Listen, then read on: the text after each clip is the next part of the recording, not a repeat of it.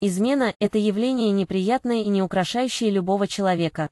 Будь ваш партнер хоть тысячу раз не прав, прыгать в койку к другому человеку из-за проблем в отношениях подло и некрасиво. Можно представить себе, как обидно тому, кому изменили. И минимум, что может сделать изменник или изменница в такой ситуации, это извиниться за измену. Зачем просить прощения за измену? После измены, как и после драки, кулаками не машут. Нет смысла выяснять отношения и рассуждать, почему это произошло, причина, наверняка есть, и очень серьезная. Но в этом ли дело? В чем бы ни был виноват парень, он не заслуживает такого отношения, предательства. Согласитесь, измена – это предательство. Именно так бы вы считали, если бы изменяли вам. Но дело сделано, измена произошла. Одни девушки признаются сами, чтобы очистить виноватую душу, либо сделать больно своему парню в отместку за нанесенные обиды.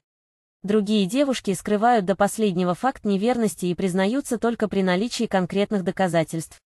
В любом случае нужно просить прощения за измену и нанесенную обиду.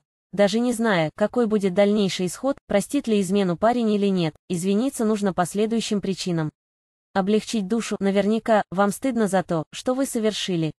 Объяснить мотивы своего поступка, чтобы сохранить отношения. Безусловно, если девушка думает, как извиниться перед парнем за измену, значит, она, как минимум, понимает, что сделала что-то неправильно.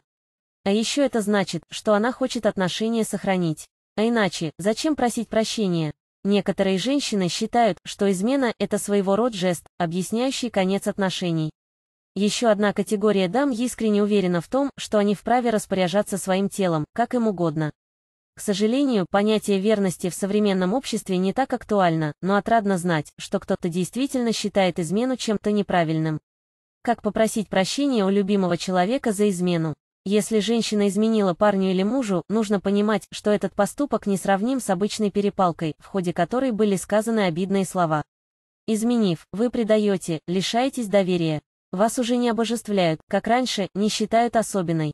Поэтому, извиняясь, вы снова завоевываете потерянное доверие, просите еще одного шанса. Измена женская и мужская – вещи разные. И отношение к адультеру также разное.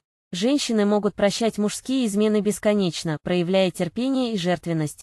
Мужчина же прощает редко и однажды. Заслужив его прощение один раз, не стоит больше рассчитывать на его благосклонность. Поэтому подумайте хорошо, для чего вы просите прощения перед мужем или парнем. Чтобы восстановить отношения, но уверены ли вы, что ситуация больше не повторится? Все зависит и от того, как была совершена измена. Бывает, девушки изменяют в порыве чувств, страсти, гнева, обиды. О таком поступке, конечно, они после жалеют, но уже поздно. Случаются измены и под влиянием алкоголя. Сложнее всего объяснить и оправдать осознанную измену. В этом случае невозможно обойтись без взаимных упреков и обвинений. Как правильно извиниться? Сам по себе процесс просьбы прощения – это дело, требующее больших усилий и смелости. Не просто признать свою вину, более того, нужно понимать, главное не слова, а поступки. Сказать просто «прости», «извини» — это несложно.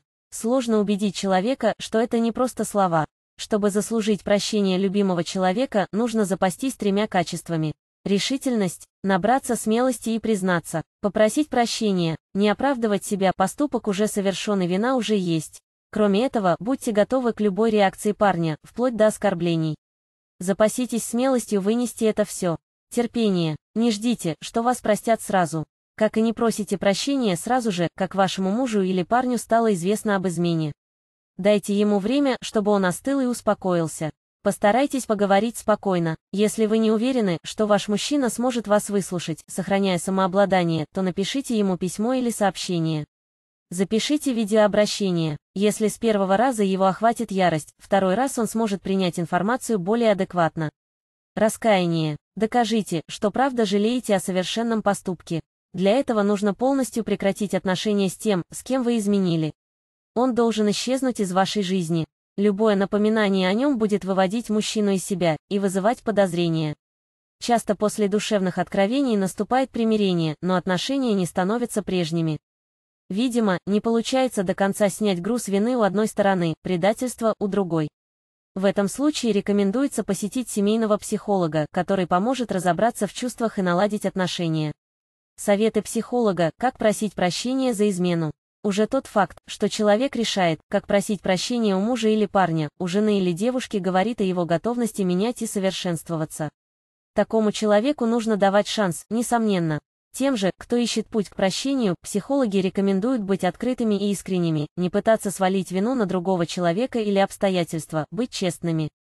Партнер всегда почувствует настоящую искренность и простит. Не нужно давать обещания типа «больше так не буду». Сам факт того, что вы просите прощения, уже подразумевает, что повторения не будет.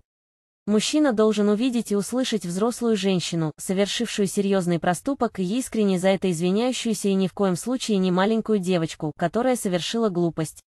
Все люди имеют право на ошибку, так же как все люди могут прощать человека, а могут не прощать. Если вас не простил мужчина, не нужно его винить. Это его выборы, возможно, лучше так, чем едкие упреки в будущем. Женщине же эта ситуация должна послужить серьезным уроком.